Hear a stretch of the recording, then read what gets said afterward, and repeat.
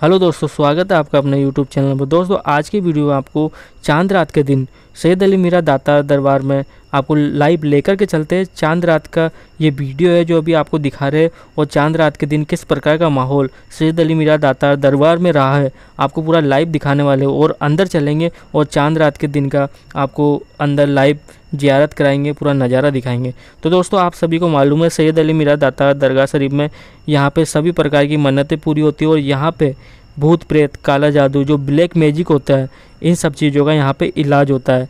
तो दोस्तों, यहाँ पे हर जात, हर धर्म के यहाँ पे व्यक्ति आते हैं, हिंदू, मुस्लिम, सिख, ईसाई, सभी यहाँ पे आते हैं और सभी की यहाँ पे मन्नतें पूरी होती है।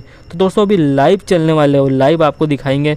अभी पूरा नज़ारा देखिए आप, ये दरबार के अंदर का नज़ारा है, यहाँ पे आपको और भी सीन दिखाने वाले हैं। और दोस्तों, यहाँ पर चिराग रोशन करे गए और जितनी भी अपनी यूट्यूब फैमिली है अपने जितने भी सब्सक्राइबर है, जो भी ये वीडियो देख रहे हैं, सभी के लिए यहाँ पे काफ़ी बढ़िया दुआ करी गई है। सभी की तरक्की के लिए, सभी के रोजी रोज़गार से संबंधित और सभी की जो भी रूहानी ताकतों से जो परेशान है, उन सब के लिए यहाँ पर दुआ करी गई है। तो दोस्तों, अभी लाइव चलते हैं और सभी के लिए यहाँ पर चिराग रोशन करे गए हैं अपने चैनल के नाम से। तो अभी लाइव चलते और आपको लाइव नज़ारा दिखाते और आपको दीदार कराते हैं सैद अली मीरा दाता दरगाह शरीफ में। ये पूरा नज़ारा देखिए।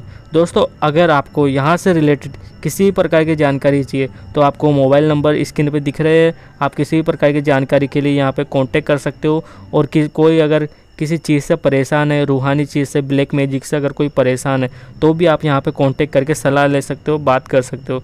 तो दोस्तों, यहाँ पे देखिए, आप सभी के लिए यहाँ पे चिराग रोशन करे गए और यहाँ पे सभी के लिए दुआ करी गई थी, जैसे कि चाँद रात के मौके पर सभी के लिए, जितने भी व्यूअर है, जो भी ये वीडियो देख रहे हैं, सभी के लिए यहाँ पे दुआ करी गई है।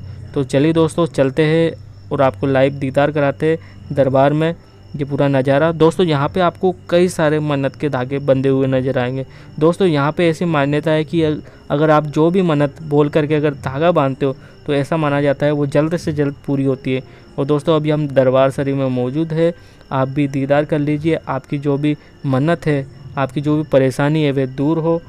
ये सभी आप नज़ारा देखिए किस प्रकार का यहाँ का माहौल है। दोस्तों, बस आपसे रिक्वेस्ट है, जो भी इस वीडियो को देख रहा है सभी आगे से आगे शेयर करें। और जो भी अगर यूट्यूब चैनल पर अगर नया है तो यूट्यूब चैनल को सब्सक्राइब करके बेल आइकन का बटन ऑन कर लेना। और अगर आप ये वीडियो फेसबुक पेज पे देख रहे हो तो फेसबुक पेज को फॉलो कर लेना। दोस्तों, ये दरगाह शरीफ, उंजा शरीफ, उनावा में स्थित है। उनावा गाँव, अहमदाबाद से 100 किलोमीटर की दूरी पर स्थित है। गुजरात, ये दरगाह शरीफ है, जो कि सैद अली मीरा दाता दरगाह शरीफ के नाम से जानी जाती है। ऊंजा शरीफ दरगाह शरीफ के नाम से भी जानी जाती है। ये उनावा में स्थित है, गुजरात में। तो दोस्तों, आप यहाँ पर आ सकते हो, कोई दिक्कत वाली बात नहीं है। चलिए दोस्तों, मिलते हैं